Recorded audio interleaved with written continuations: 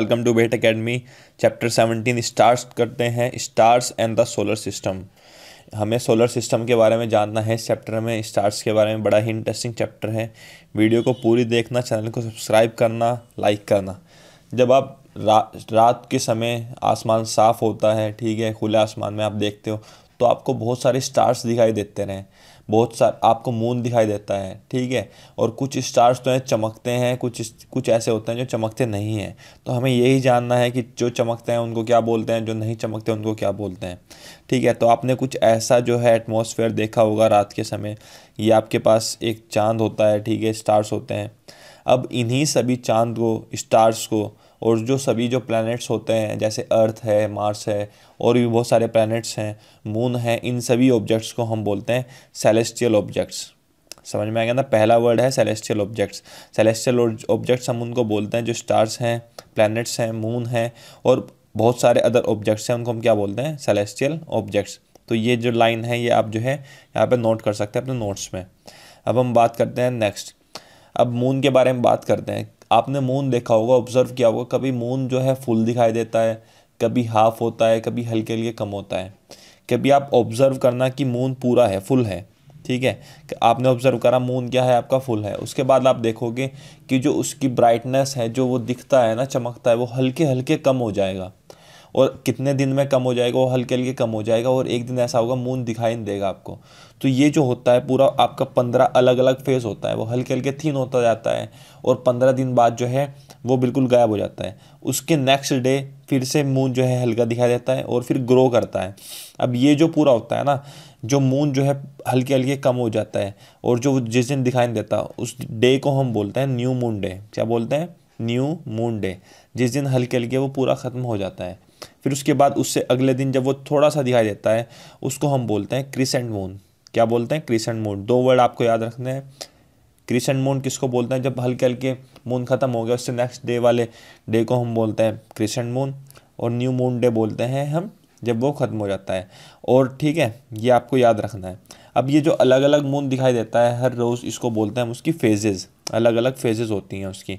अब ये इस तरह के जो है पूरा, जब पूरा एक फुल मून जो है, होता है, वो हल्के हल्के कम होता है, फिर ज़्यादा होता है पूरा भरता है मून जो है, ये लगभग ट्वेंटी नाइन डेज़ से थोड़ा सा ज़्यादा इसमें जो है टाइम लगता है। और ये कैलेंडर्स में जो है, मुस्लिम कैलेंडर्स वगैरह में इसको और भी बहुत सारे कैलेंडर्स हैं जिसको, को एक ही मंथ माना जाता है, ठीक है? अब जिस डे तो फेजेस ऑफ़ मून हो गया, ठीक है? ये आपको जानना, देखो ये जो है, एक गर्ल है, ये ड्रॉ कर रही है, पहले जो है फुल मून है इस फ़ोटो में, फिर उसके बाद थोड़ा सा कम हुआ है, ये यहाँ पे आपको नोट करो अगर फिर होल और कम हुआ है, हल्के हल्के कम होते जा रहे हैं इसके फेजेस और इन सभी को क्या बोलते हैं? फेजेस ऑफ़ मून बोलते हैं, ठीक है? अब हमें ये समझना है, यार ये फेजेस अलग अलग क्यों होते हैं? मतलब अलग अलग ऐसे क्यों दिखते हैं फेजेस ऑफ़ मून ठीक है? अब ये ये ही आपको समझना है यहाँ पे। अब यहाँ पे आप नोट करो कि ये तो आपका सन है सन और मून की खुद की अपनी कोई लाइट नहीं होती। हमने पिछले चैप्टर में पढ़ा था, दो तरह के ऑब्जेक्ट्स होते हैं ल्यूमिनस ऑब्जेक्ट्स और non luminous objects luminous objects वो होते हैं जिनकी लाइट अपनी खुद होती है, जैसे सन है आपका। और मून जो होते हैं आपकी, उनकी लाइट नहीं होती। स्टार्स की खुद की लाइट होती है प्लैनेट्स की लाइट नहीं होती। अब ये क्या होता है? सन है यहाँ पे, और ये आपका मून है। ठीक है? इससे लाइट आती हैं और रिफ्लेक्ट होती हैं। रिफ्लेक्शन लाइट लाइट वाले चैप्टर में हमने पढ़ा था, कोई भी ऑब्जेक्ट क्यों दिखाई देता है? रिफ्लेक्शन की वजह से। तो ये रिफ्लेक्ट होने के बाद अर्थ पे आती है। अब जब क्योंकि अर्थ जो है, एक जगह फिक्स नहीं रहती और वो सन के अराउंड रोटेट कर दी है, अभी हम पढ़ेंगे। और मून सन के अराउंड अर्थ के अराउंड रोटेट करता है। इस वजह से उसकी अलग अलग शेप्स दिखाई देती हैं, ठीक है? तो ये आपने जो है, ये एक्टिविटीज़ है, आप इनको पढ़ सकते हैं। अब ये देखो, यहाँ पे मून है। इसमें बिल्कुल क्लियर तरीके से दिखाया गया है। ये रेज ऑफ़ लाइट आ रही हैं इससे। और ये यहाँ पे अर्थ है। यहाँ पे देखो, ये जो है सबसे पहले, एक मिनट रुको, इसको मैं पूरा स्क्रीन पे कर देता हूँ। ये देखो, यहाँ पे फुल मून था, हल्के हल्के कम हुआ, फिर ये बिल्कुल ही कम हो जाता है मून और यहाँ पे एक दिन ऐसा होता है कि मून दिखाई नहीं देता, ठीक है? जिसको हमने क्या बोला था? न्यू मून डे बोला था। और उसके बाद हल्का मून दिखाई देता है, उसको हम क्या बोलते हैं? क्रिसेंट मून बोलते हैं। ये हमने अभी पढ़ लिया है, ठीक है? ये पोजिशन अलग अलग होती हैं। अब आपको बता देता हूँ मैं जो अभी बता रहा था मैं कि जो अर्थ होती है, वो सन के अराउंड रोटेट कर रही है, सन के चारों तरफ़ रोटेट करती है और अर्थ के अराउंड जो है, मून रोटेट करता है। सन है, सन के अराउंड करती है, अर्थ रोटेट, ये अर्थ है और अर्थ के अराउंड जो है, सन, ये मून रोटेट करता है इस तरीके से, ठीक है? इस तरीके से इनका रिवोल्यूशन होता है। अब ये तो आपने समझ लिया। अब जो मून जो है, जब अपनी रोटेशन कंप्लीट करता है एक्सिस पे तो the moon complete one rotation on its axis its complete one revolution around the earth जब वो अपनी एक्सिस के अराउंड रोटेट करता है तो वो पूरा रिवोल्यूशन अर्थ के अराउंड कंप्लीट कर लेता है। ये भी आपके समझ में नहीं आया होगा, मैं अभी समझा दूँगा। सबसे पहले हम बात करते हैं मून की सरफेस पे। आपने कहानियों में, गानों में सुना होगा मून बहुत खूबसूरत होता है, चाँद तारों से कंपेयर किया जाता है किसी भी खूबसूरती को। लेकिन जब एस्ट्रोनॉट्स मून पे लैंड करते हैं तो वहाँ की सरफेस बहुत डस्टी होती है। वहाँ पे पहाड़ होते हैं हाई माउंटेन माउंटेन्स होते हैं, जैसे अर्थ पे हैं, ठीक है, इतने हाई माउंटेन्स होते हैं मतलब डस्टी होती हैं, और वहाँ पे लाइफ नहीं है। लाइफ नहीं है क्योंकि वहाँ पे एटमॉस्फेयर नहीं है और वाटर नहीं है, ठीक है, इसीलिए वहाँ पे कोई भी लाइफ एग्जिस्ट नहीं करती। और ट्वेंटी वन नाइनटीन, जुलाई twenty one nineteen sixty nine में जब नील आर्मस्ट्रॉन्ग जो है लैंडेड मून पे, वो मून पे लैंड करे, पहले आदमी थे वो लैंड करने वाले, और उसके बाद एडविन एल्ड्रिन जो है, उनको जो है फॉलो किया, ठीक है? जो पहले आदमी थे, पूछा जा सकता है, नील आर्मस्ट्रॉन्ग थे जुलाई ट्वेंटी वन में।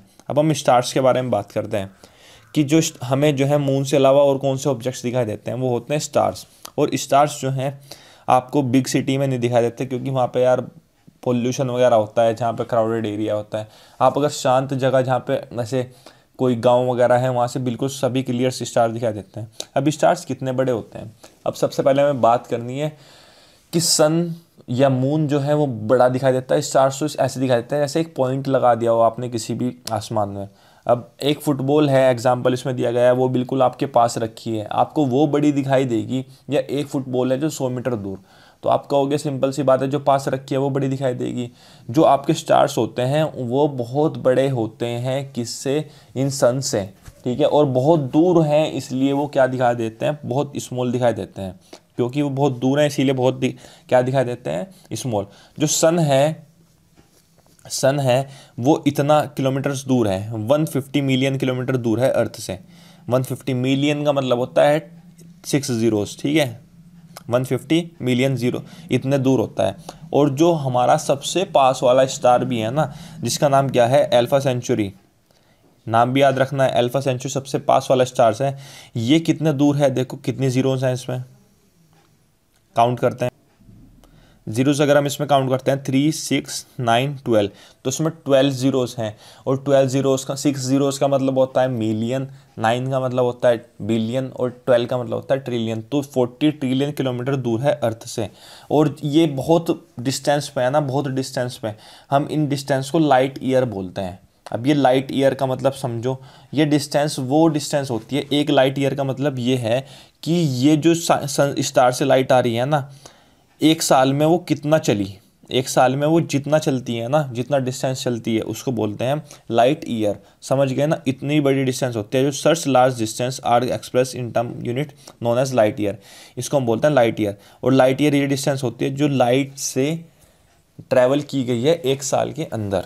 ठीक है? और आपको पता होना चाहिए जो लाइट की स्पीड होती है, वो तीन लाख किलोमीटर पर सेकंड होती है. मतलब एक सेकंड में लाइट तीन लाख किलोमीटर चलती है. अब इसीलिए जो अर्थ सन से लेके अर्थ तक के जो है टाइम लगता है, वो एट लाइट मिनट का लगता है। ठीक है? एक लाइट ईयर का मतलब क्या है कि जो स्टार है, वो एक साल में कितना चल रही है? स्टार की जो लाइट है, वो एक साल में कितना ट्रैवल करती है?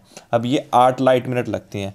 और जो एल्फा सेंचुरी है, बिल्कुल जो पास वाला स्टार है, इसमें तो सन में तो कितना टाइम ले रहा है? एट लाइट मिनट लेकिन जो स्टार सबसे पास वाला जो स्टार है एल्फा सेंचुरी वो कितना लेती है? Four point three light years लेता है टाइम मतलब जो आप आज स्टार देखते हो, रात में देखते हो, आप स्टार वो जो लाइट चली थी, वो बहुत लाइट ईयर्स पहले चली थी लाइट और आप अब देख रहे हो उस स्टार्स को, ठीक है? वो उसका पास्ट फॉर्म है, इतना दूर होते हैं स्टार्स हमारे से। अब आपको समझ में आ गया ना?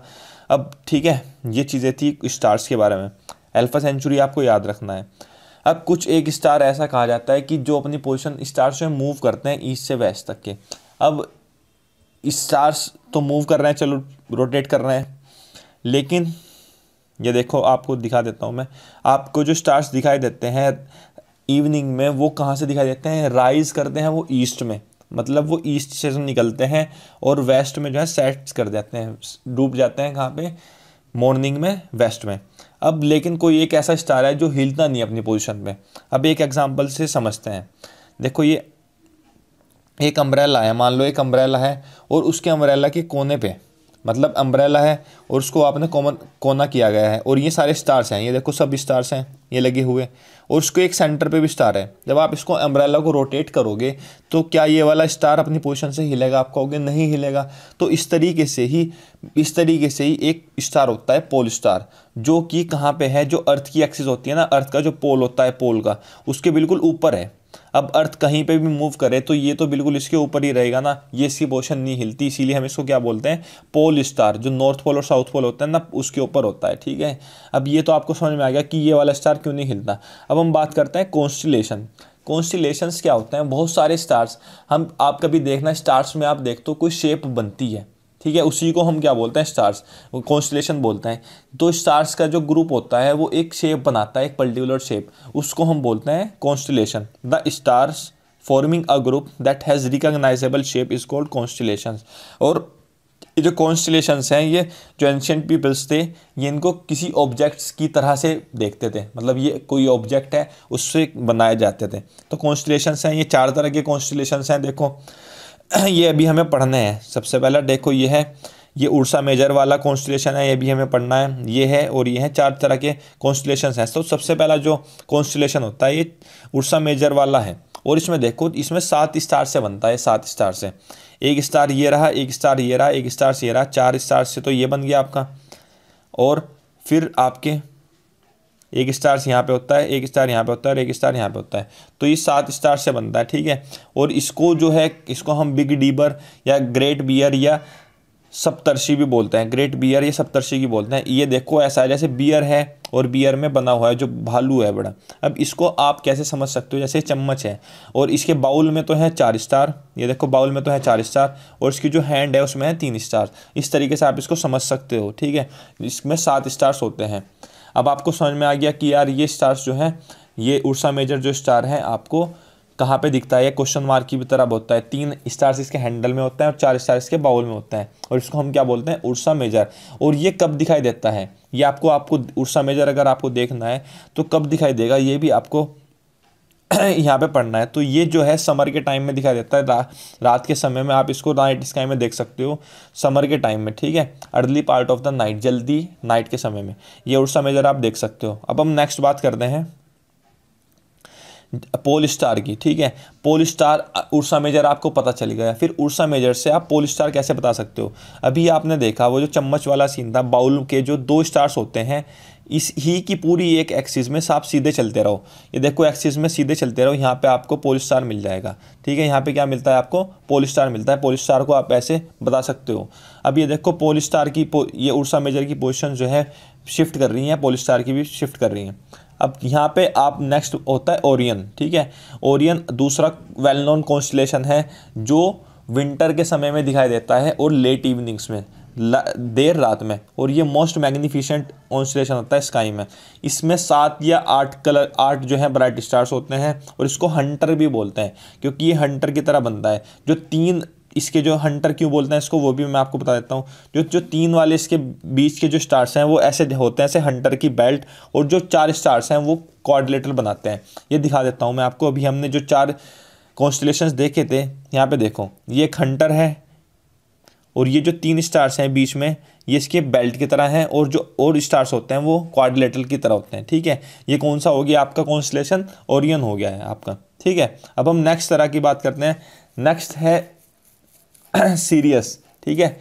स्टार जो सीरियस है, जो ब्राइटेस्ट स्टार होता है हमारे स्काई में, आप उसे लोकेट कर सकते हो ओरियन के पास ही होता है ये, ठीक है? जो स्टार होता है सीरियस और इसका ये ब्राइटेस्ट स्टार है स्काई के अंदर आपको याद रखना है। आपको क्या करना है, जो हंटर वाली बेल्ट थी, जो हमने माना था कि जो हंटर की बेल्ट होती है, उससे आपको सीधे एक्सिस में जाना है और आपको जो स्टार मिलता है ब्राइटेस्ट स्टार उसको हम क्या बोलते हैं सीरियस और ये विंटर के समय में आपको दिखाई देता है।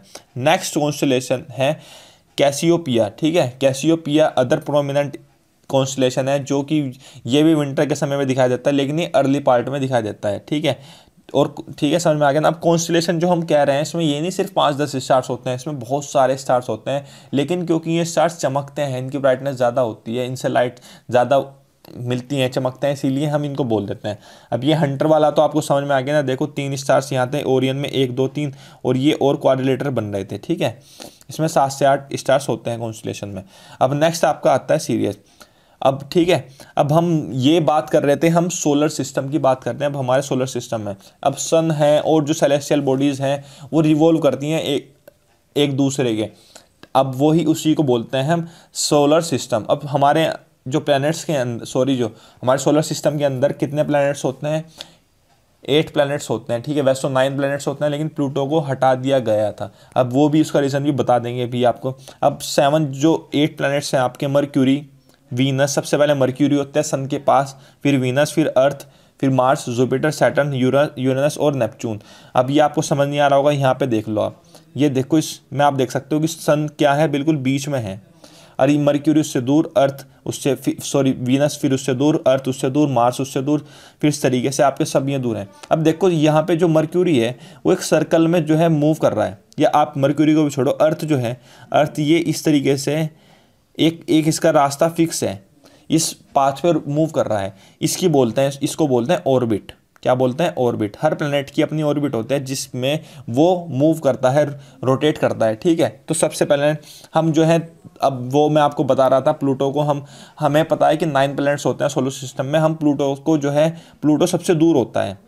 और इंटरनेशनल एस्ट्रोनॉमिकल यूनियन ने इसकी नई डेफिनेशन ऑफ़ प्लानट एडॉप्ट की 2006 में। तो उसमें ये जो प्लूटो है फिट नहीं होता इस डेफिनेशन में। इसीलिए इसको अब हम जो है सोलर सिस्टम का प्लानट नहीं बोलते हैं। अब सबसे जो पहला है सन है। सन जो है सबसे पास है हमारे अर्थ से और ये हमेशा जो है लाइट एमिटिंग कर रहा है बहुत सारी हीट और लाइट और जो सारी एनर्जी आती है अर्थ पे, वो कहाँ से आती है? सन से ही आती है, ठीक है? और जो सन है, वो मेन सोर्स है लाइट और प्लैनेट्स का। अब फिर हम प्लैनेट्स के बारे में बात करते हैं। प्लैनेट्स स्टार्स की तरह लगते हैं, लेकिन होते नहीं यार स्टार्स वो। अगर आपको प्लैनेट्स और स्टार्स में डिफ्रेंशिएट करना है तो आप आसमान में देखना। जो स्टार्स ट्विंकल करते हैं, ठीक है? चमचमाते हैं ट्विंकल करते हैं, वो तो होते हैं स्टार्स और प्लैनेट ट्विंकल नहीं करते। ठीक है? बस आपको ये पता होना चाहिए।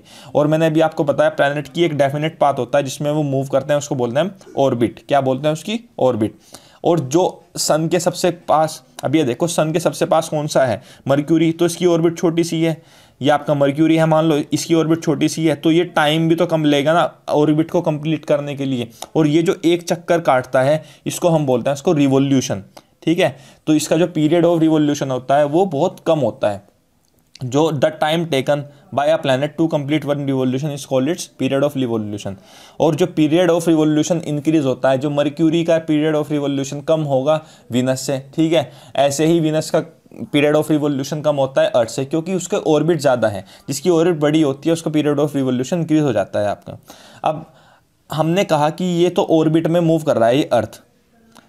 ठीक है? अर्थ है आपका अर्थ। ये इस तरीके से ऑर्बिट में मूव कर रहा है अर्थ लेकिन अर्थ अपने एक्सिस की तरह अराउंड भी मूव करता है। कैसे?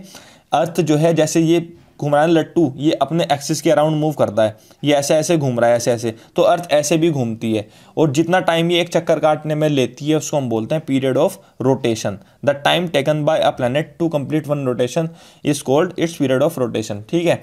जो पूरा ऑर्बिट में घूम रहा है, उसको तो बोलते हैं, जितना टाइम लेती है, उसको बोलते हैं पीरियड ऑफ़ रिवोल्यूशन और जो अपनी एक्सिस के अराउंड घूम रहा है, उसको बोलते हैं पीरियड ऑफ़ रोटेशन अब हम नेक्स्ट बात करते हैं। कुछ प्लैनेट्स की जो है ना सैटेलाइट्स होती हैं मतलब कुछ प्लैनेट्स के चारों तरफ़ कुछ प्लैनेट्स घूमते हैं रिवॉल्व करते हैं। उनको हम उनकी सैटेलाइट्स बोलते हैं। अब अर्थ के चारों तरफ़ सॉरी सन के चारों तरफ़ अर्थ रोटेट करती है, लेकिन फिर भी हम उसको प्लैनेट बोलते हैं। ठीक है तो कोई भी सेलेस्टियल बॉडी के अराउंड जो दूसरी सेलेस्टियल बॉडी रोटेट करती है, उसको हम बोलते हैं सैटेलाइट अभी मैंने आपको बताया था कि अर्थ के अराउंड मून जो है क्या करता है? रिवॉल्व करता है। तो मून जो है, आपकी सैटेलाइट है। अर्थ की सैटेलाइट है और नेचुरल सैटेलाइट है। इसीलिए नेचर की तरफ़ से दी गई है। तो इसको हम नेचुरल सैटेलाइट बोलते हैं। ठीक है?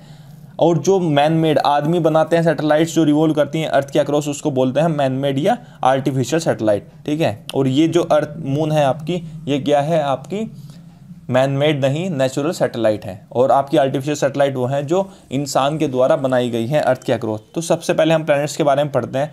सबसे पहला जो प्लैनेट है वो है मर्क्यूरी मर्क्यूरी सबसे पास होता है सन के और ये स्मॉलेस्ट सबसे छोटा प्लानट है सोलर सिस्टम में। और मर्क्यूरी क्योंकि पास होता है सन के, हम इसको देख नहीं पाते क्योंकि उसकी जो रोशनी है ग्लेयर है सन की, वो उस पर हर टाइम होती है।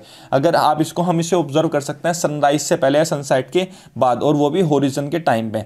ठीक है? और मर्क्यूरी कोई सैटेलाइट नहीं होती। आपसे अगर पूछता है मर्क्यूरी क्या कोई सैटेलाइट है, आप कहोगे नहीं। नेक्स्ट आता है वीनस जिसको शुक्र भी बोलते हैं, और ये अर्थ का पड़ोसी होता है, क्योंकि इसके पास क्या होती है अर्थ ठीक है, ये क्या होता है, पड़ोसी होता है अर्थ का, और ये ब्राइटेस्ट प्लानट है। सबसे ज़्यादा चमकता है नाइट स्काई में।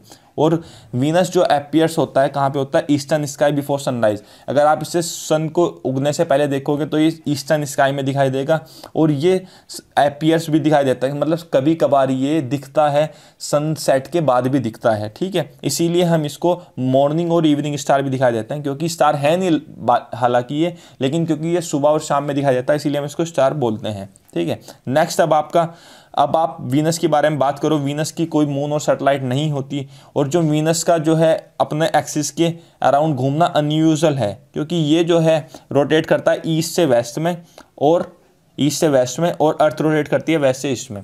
अब आप समझो, एक बात समझो, जब आप ट्रेन में बैठे हो और बराबर वाली ट्रेन चल रही है, आपको लगता है कि हमारी ट्रेन चल रही है तो उल्टा होता है ना, क्योंकि अर्थ रोटेट करती है वेस्ट से ईस्ट में, और ऐसे ही क्योंकि ये स्टार है ये अपनी पोजिशन में है तो ये उल्टा दिखाई देगा ना तो ये इसका रोटेशन क्या हो जाएगा?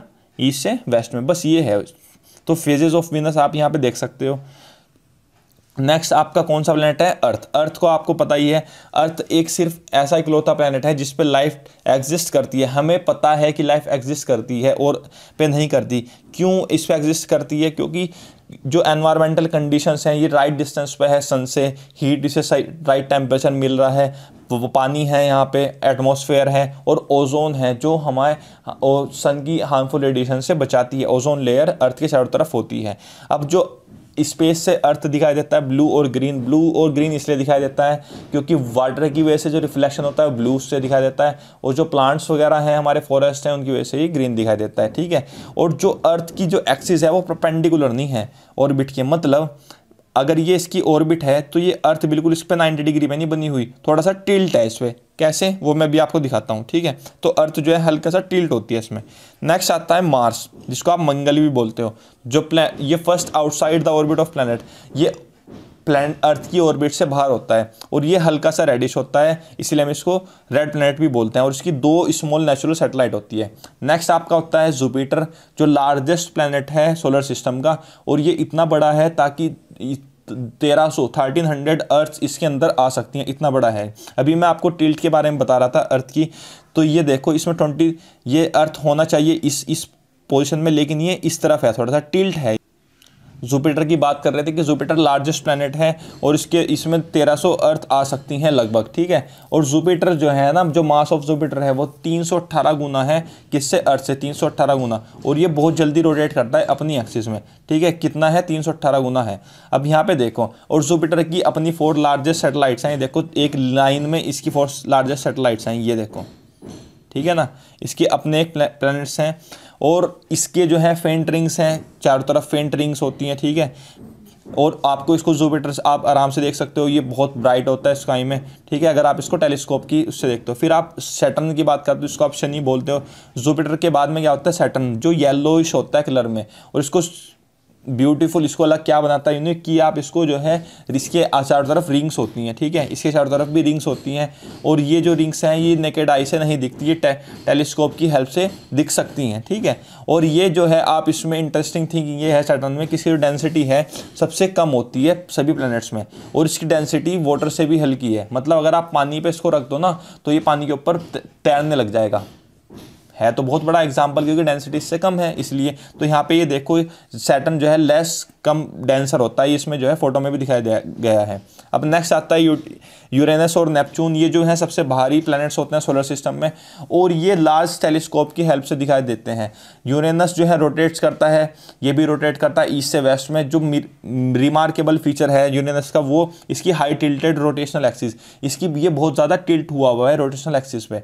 और इसकी जो मोशन है, ये रोल लगता है अपने साइड में, ठीक है। देखो ये यहाँ पे देखो, ये टिल्ट हुआ हुआ है बहुत ज़्यादा, ठीक है। और मर्क्यूरी वेनस अर्थ मार्स को बहुत, ये जो चार प्लैनेट्स हैं मर्क्यूरी वीनस अर्थ मार्स ये नियरर होते हैं सन से दूसरे प्लैनेट से, इसीलिए हम इनको क्या बोलते हैं इनर प्लैनेट्स ठीक है? और इनर प्लैनेट्स के कम मून होते हैं जो, लेकिन जो बाहर वाले प्लैनेट्स हैं, जैसे जुपिटर सैटर्न यूरेनस नेपच्यून और ये जो हैं, ये बहुत दूर होते हैं। और इनको हम क्या बोलते हैं आउटर प्लैनेट्स और अभी मैंने आपको बताया था, इन सभी के चारों तरफ़ रिंग्स हैं, ठीक है? अब प्लैनेट्स से बजा, अलग भी बहुत सारे मेंबर्स होते हैं सोलर सिस्टम में, जिनको बोलते हैं एस्टिरॉइड्स एस्टिरॉइड्स क्या है? देखो, इनके बीच में ये जो है ऑर्बिट्स हैं. ऑर्बिट्स के बीच में बहुत सारे जो है गैप होते हैं. और ये जो गैप्स हैं मार्स और जुपिटर के बीच में, आप देख रहे हो मार्स और जुपिटर के बीच में, ये यहाँ पे ये एस्टेरॉइड्स हैं। क्या हैं? एस्टेरॉइड्स हैं स्मॉल स्मॉल जो हैं।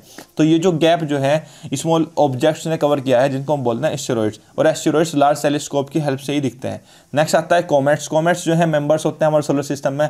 ये सन के अराउंड जो है रोटेट करते हैं। इलिप्टिकल ऑर्बिट में, इलेप्टिकल का मतलब जैसे अंडे वाली इलिप्स की फॉर्म में होती है, ठीक है? और इनका जो रिवोल्यूशन होता है वो बहुत ज़्यादा होता है।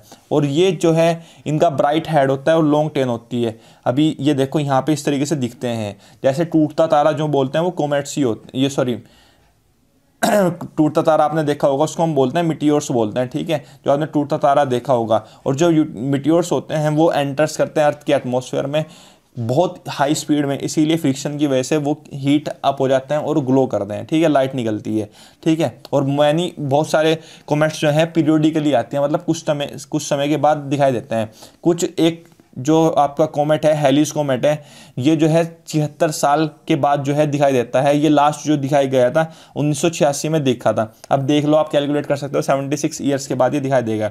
और कुछ मिट्योर्स इतने बड़े होते हैं कि वो जो अर्थ पे भी रीच री अर्थ पे जो है ना पहुँच जाते हैं इवापोरेट होने से पहले, और उनको हम बोलते हैं मिट्योराइट ठीक है? क्या बोलते हैं? मिट्योराइट और मिट्योराइट की हेल्प से ही साइंटिस्ट देखते हैं कि मटेरियल कैसे बना है, ठीक है? और जब मिट्योर्स और मिट्योराइट्स के बारे में बात करें हम, जो सन जो है क्लियर होता है तो जब आप मिट्योर्स और मिट्योराइट्स को देख सकते हो। फिर हम बात करते हैं आर्टिफिशियल सेटेलाइट्स की। ये तो सब नेचुरल सेटेलाइट्स थी, मून के लिए जैसे जुपिटर की होती हैं चार सेटेलाइट्स। अब आर्टिफिशियल की हम सेटेलाइट्स की बात करें तो जो पहली आर्टिफिशियल सेटेलाइट थी वो आर्यभट्ट थी, ठीक है? आर्यभट्ट सेटेलाइट सबसे पहली सेटेलाइट थी। उसके बाद भी बहुत सारे सेटेलाइट हैं इनसेट है, आपकी आई आर एस है, कल्पना वन है, ठीक है, ये बहुत सारी सेटेलाइट्स हैं, जो कि आर्टिफिशियल सेटेलाइट्स है। ये बनाई क्यों जाती हैं? अर्थ के अराउंड रिवॉल्व करती हैं और ये मून से बहुत पास हैं। ये वेदर के बारे में बताती हैं टेलीविज़न और रेडियो सिग्नल्स जहाँ पर पहुँच नहीं पाते सेटेलाइट की हेल्प से पहुँचते हैं, ठीक है टेलीकम्युनिकेशन और रिमोट सेंसिंग के लिए होती हैं यूज़ इस तरीके से आपका चैप्टर हो जाता है कंप्लीट ये वीडियो पसंद आई हो तो लाइक शेयर ज़रूर करना और ये फ़ोटो में आप देख सकते हो आर्टिफिशियल सेटेलाइट्स ठीक है, जो इंडियन सेटेलाइट्स हैं। ठीक है? Thank you